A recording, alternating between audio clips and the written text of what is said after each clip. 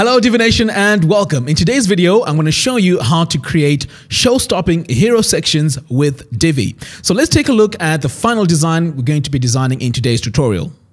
Okay, so this is the final design that we're aiming towards in today's tutorial. So we're going to do some customizations here to the header and also to our section and background area. So without wasting a lot of time, let's dive in and let me show you step by step how we managed to achieve this. Okay, so here we are in my admin dashboard. So the first thing I'm going to do is to add the logo. So I'm going to come over here to Divi, click on theme options, and then I'm going to click on upload to upload my logo. Now I already have my logo in my media library, so I'm just going to cancel this. But if you were adding your logo uh, from your local machine, this is where you'd need to click on select files. So I'm here in my media library. I'm going to select my logo and then click on set as logo. So that's all we need to do. And then we need to go ahead now and save changes. So that's it. Our logo now has been applied to our website. So the next thing I'm going to do now is to customize our header area. So I'm going to come over here to theme customizer. Then I'm going to click on header and navigation, header format. And then here we can see that our logo is uh, set as the default style. So what I need to do here is to center it. So I'm going to click on centered and now you can see our logo is now centered and our navigation is below the logo. Now let's customize our primary menu bar. So I'm going to click back here and click on primary menu bar. And we are going to start off with our menu height. So let's set this to 211 so we can see more of our logo. For our logo max height, I'm going to set this to 100. So now we can see that our logo is nice and big. Our text size, we're going to set this to 16. And then for our letter spacing, I'm going to set this to 2. Right, so now let's come over here to our theme default font. We're going to set this to Lato. So I'm going to scroll all the way down here until I find my font.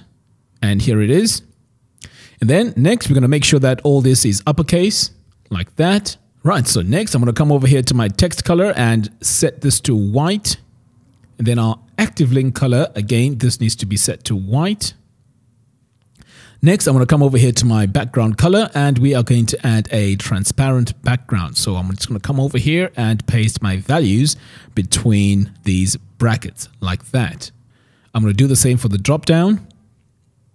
Okay, so we can see right now that our menu seems to have disappeared, but that's because our text is white and it's also on a white background. So what I'm going to do in the next uh, stage is to add a new section with a background color. So let's go ahead and save and publish, and then let's create a brand new page.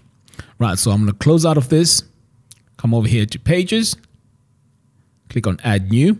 Now you can call your page whatever you want, but for in my case, I'm just going to add HS click on use the Divi Builder, use Visual Builder. Right, so let's start off by adding a color to our section. So I'm going to come over here to this gear icon for our section settings. So what I'm going to do here is I'm going to snap this to the left. Then I'm going to click on background, click on our gradient tab, click the plus button, and then I'm going to add my first color. So I'm going to paste it in here like that. And then for my second color, this is going to be transparent. So I'm just going to drag all the sliders down all the way to the bottom like that. So over here, we're going to leave this as the linear gradient. And then for the direction, it's fine at, uh, at 180 degrees. And then for our start position, I'm going to set this to 40. And then for our end position, I'm going to set this to 40 as well. Right, so you can see our background is quite plain. So the next thing we're going to do is to add an image to the background. So I'm going to come over here to my third tab, click the plus button to add our image. And I already have my image in my media library. So if you don't have your images in your media library, all you have to do is to locate the image by clicking upload files and then uploading it into the media library. So I'm going to select my image here and click upload an image. So now we can see that our image is in the background. The next thing we're going to do here is to change our blending mode to multiply like that. So pretty much that's all we need to do for now. So let's go ahead and save. And now it's time to add our columns. So I'm going to click this plus button here and we're going to add two columns. So for now, I'm just going to close this and then I'm going to come over here to my row settings and add my background color. So I'm going to click on background, click the plus button and I'm going to paste my uh, color in here like that. Now I'm going to add my gradient to my first column here. So I'm going to click this second tab, click the plus button, and let's go ahead and start adding our colors. So I'm going to click here for my first color. Now this is going to be an RGBA value, so I am going to paste my values within the brackets like this. Click on my second color and I'm going to do the same. Right, so next we are going to come over here to our gradient type and change this to radial. And then here we're going to set this to top left. And the column one start position, we're going to set this to 49 and the end to 49 like that. Now let's go to column two. So here, in fact, before I go to column two, we can see that we've just created this shape right here. So we will be able to see it clearly once we've added some text in our module right here. Okay, so here on column two, background, I'm going to click the second tab for our gradient, click the plus button, and I'm going to add my first color. As before, this is going to be an RGBA value, so I'm going to paste it within the brackets like that. And then I'm going to click my second color, do the same and then here for the gradient type, this is going to be a radial, but this time it's going to be bottom right. So now our shape is going to be right at the bottom. So here again on column 2 start, we're going to set this to 49. And for the second uh, column, we're going to set this to 49 too. Okay, so pretty much we're done here. Let's go into design and um, click on sizing.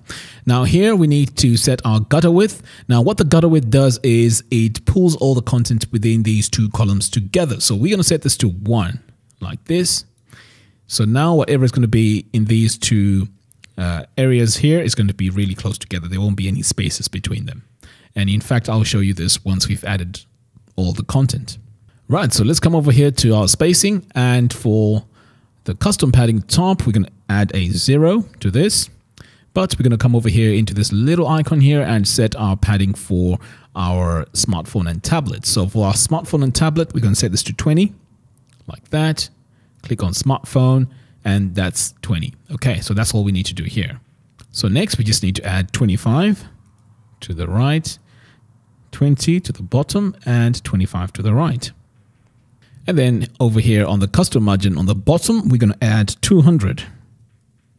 Okay, so we're all done here. Let's go ahead and save. And then the next thing we're going to do now is to start adding the content. So let's start off by adding a blurb. So I'm going to click this plus button here and I'm going to click on blurb.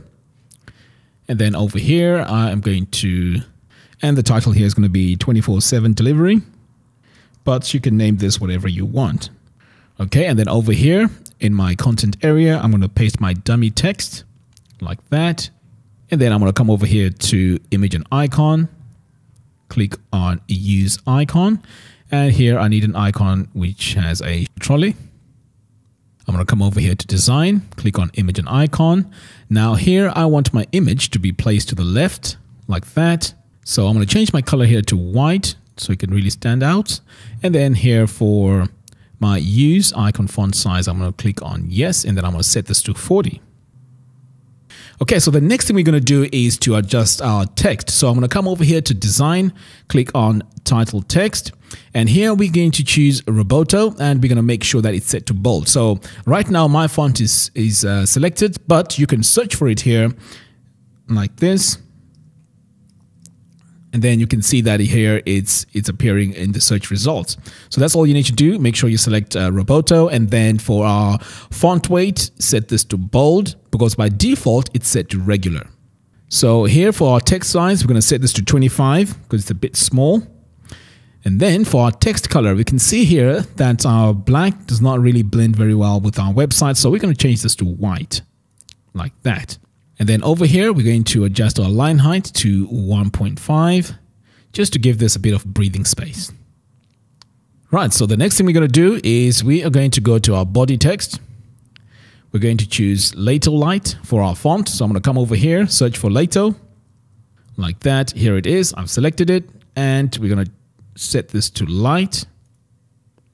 And for our text color, we're going to set this to white. Right, so what we need to do next, we can see here that um, this blurb is taking a lot of space. So let's do, let's add a specific size to this. So to do that, I'm going to come over here to sizing, and we are going to set this content width to 300, like that. Now let's go to spacing and let's add our values for our margin. So what we're going to do here is we're going to set our margin to minus 50. So what that does is it pulls everything up. So we can see here that this 24-7 has now been brought up here into this um, area here, which is exactly what we want. And then next, I'm going to click this little icon here to adjust my um, margin top for my tablet and smartphone. So here we're going to set this to zero like that. And then for the smartphone, we're going to set it to zero like that. Next, let's um, adjust our padding. So for the padding top, I'm going to add 100. For the right, I'm going to add 10. For the bottom, it's going to be 30. And left is going to be 10. So now we can see we have a beautiful breathing space around this blurb. Right, so all is done here. I'm going to click on save. So what we're going to do next is we're going to clone this blurb module and drag it over here to the right. So I'm going to click this button here to clone it and then I'm just going to drag it over here to the right. So this will save me time to recreate all the settings that I have in the first blurb. So here I'm going to go into the blurb settings and set my background color. So I'm going to click on background, click the plus button, and I'm going to add my background color like that. So the next thing we're going to do is to change our icon. So I'm going to come over here to our icon and I am going to choose a coffee cup. And here it is. And then for our text, for our title text, I'm just going to change this to top quality. Okay, so for now, I'm going to go ahead and save. And then finally, I'm going to come to the first blurb and add our background color. So I'm going to come over here to background, click the plus button, and I'm going to add my background color here. Okay, so now our page is looking way much better. So now I'm going to go ahead and save, and I can just save my page and exit the Visual Builder. So there you have it. Thank you all for watching. If you like this video, please give me a thumbs up and do subscribe and follow us on our social media platforms. By doing so, you'll be notified every time we release new videos. Until next time, thanks for watching and see you soon.